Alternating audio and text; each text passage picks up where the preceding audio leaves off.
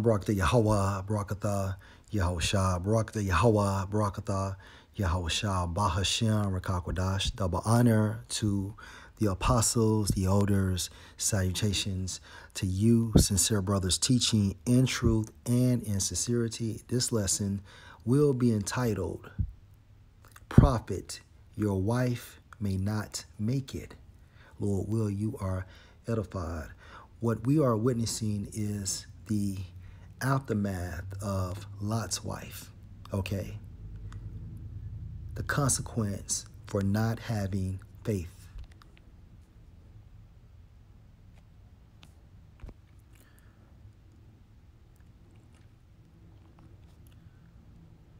This video was inspired by a video the elders in New York composed entitled Women.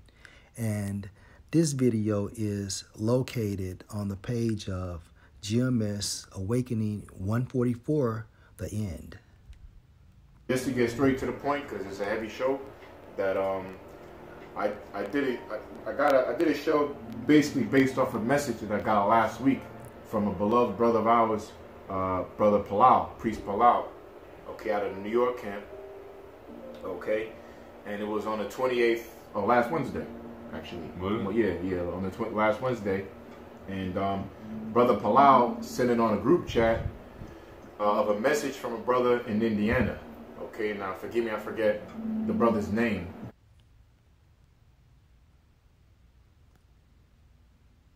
Slovakia.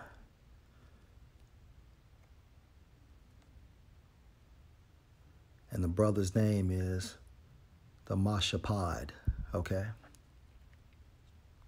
But um, the brother had a vision. The brother in Indiana, GMS camp in Indiana, had a vision, and or a vision or a dream, and it was a basically a vision or the dream was a uh, was a message from the Lord Yahweh Shai, Yahweh Shai. Okay, and uh, when you read, I'm going to read it to start off the video, but basically, I did a video last week on it. I'm not going to go into it. I got phone issues and I couldn't post it, so through water, through the grace and mercy of Rabbi Hashem Shah, we're here doing it today. You know, um, but the title of the video I had was um, "The Most High is going to divorce you, women.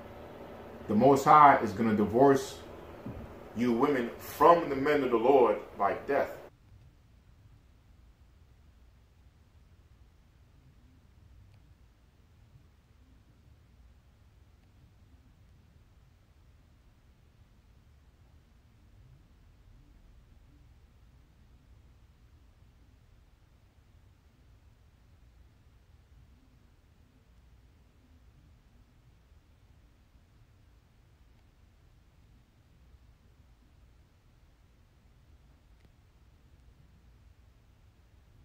Lakia.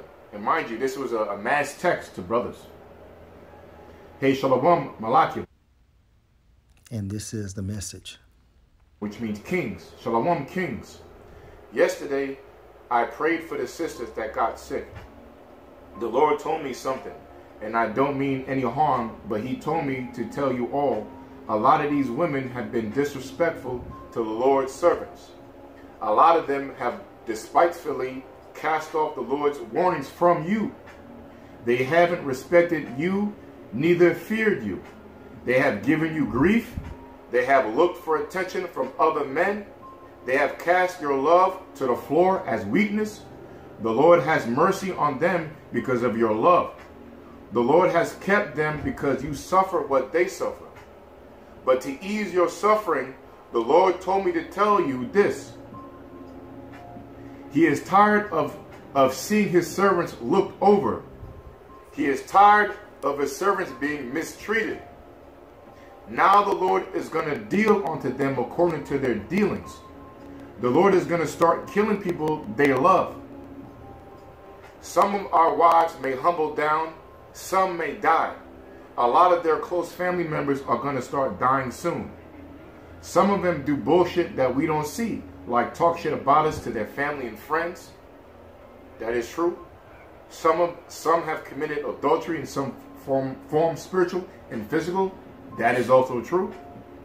The Lord is fed up. He's going to start requiring blood. And some of us will be affected. But the Lord told me to tell you, Akim, that these judgments are because of them. The Lord even told me to warn my wife that if she don't cut the bullshit, he's going to kill someone, someone close to her. I'm going to do a lesson on this. Prophet, your wife may not make it.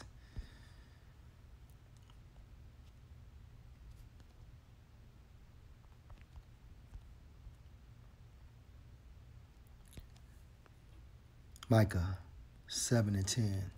Then she that is my enemy, she, referring to your wife, your possession, your assistant, your succorer, your aid.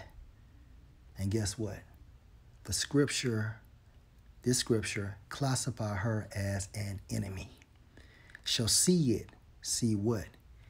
Everything you said to her in the spirit of Yahweh, Bahashem, Yahushai happening in real time.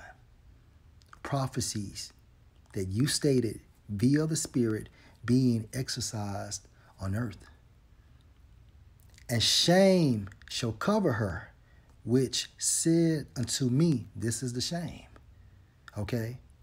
Along with being disorderly, being rebellious. Okay? Just being a bitch where is the Lord Yahweh, thy power? All right, now this proves what? That this woman is the wife of a prophet. Why? Because she knew the name. That's why it's written in all caps. Where is the Lord Yahweh, your power, not her power, which further proves that she wasn't following you. She did not believe in the teachings slash doctrine of Yahweh Bahashem Yahushua. And guess what? Judgment has to be executed. My eyes shall behold her. Behold what? Now shall she be trodden down as the mire of the streets, meaning death in whatever form it comes in.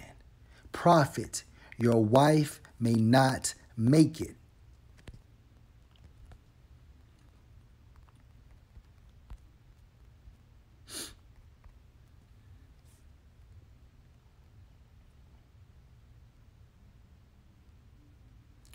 Ezekiel 9 and 4.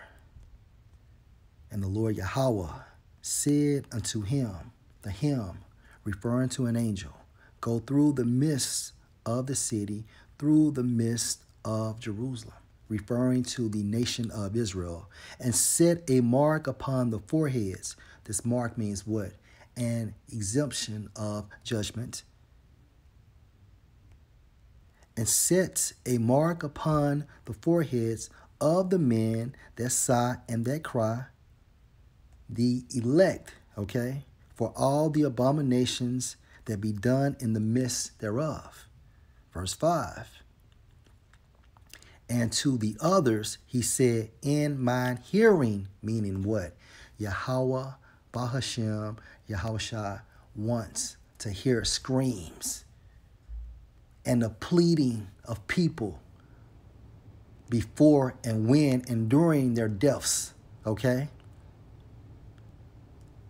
Go ye after him through the city and smite let not your eye spare literal, neither have ye pity literal. Slay utterly old and young, both maids. Maids are what? Women, females. So from young girls to old assholes, okay? Kill them in my hearing. I want to hear them scream, beg, plead, prophet, your wife may not make it. Slay utterly old and young, both maids and little children, and women, women again. But come not near any man upon whom is the mark, the elect, and begin at my sanctuary. Okay? So, of course, all right, if you are in this situation you can and will be affected. However, according to Romans 15 and 4, For whatsoever things were written aforetime, meaning what? In the past, were written for our learning, for this time now, that we through patience and comfort of the scriptures might have hope. Hope. Hope to move forward. Hope to hold on. Okay? Hope to continue to believe. All right? Case in point Genesis chapter 19.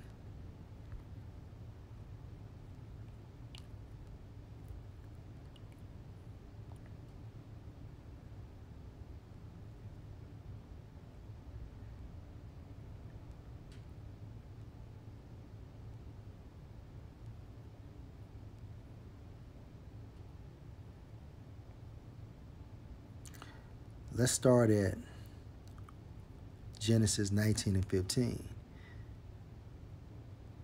Now, this is going into the account of Lot and Sodom and Gomorrah, okay? And when the morning arose, then the angels hastened Lot, saying, Arise, take your wife, and take and your two daughters, which are here, lest thou be consumed in the iniquity of the city. Verse 16. And while he lingered, the men laid hold, Salakia, and while he lingered, the men laid hold upon his hand and upon the hand of his wife and upon the, the, the hand of his two daughters. The Lord Yahweh being merciful unto him, and they brought him forth and set him without the city. And it came to pass when they had brought them forth abroad, that he said, Escape for thy life. Look not behind thee, neither stay thou in all the plain. Escape to the mountain, lest thou be consumed. These were the instructions for Lot and his family. Okay? Do not look back.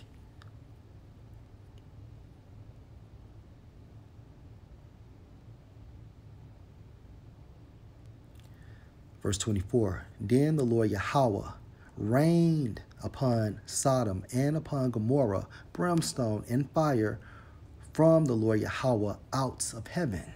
Verse 25 And he overthrew those cities and all the plain and all the inhabitants of the cities and that which grew upon the ground. Verse 25. It's like it, verse 26. But his wife looked back from behind him and she became a pillar of salt. All right. So what happened? His wife looked back. Why? Because she was part of that world, part of that system. And she began to miss it. But most importantly, she did this because she did not have faith to follow instructions. All right. However, what was Lot's reaction? he continued to move forward. He continued to move forward, although his wife did not make it. So if we are affected by this circumstance, all right, we must stay in the same spirit Lot was in and move forward. Okay? Point blank, period. Prophet, your wife may not make it. Shalom.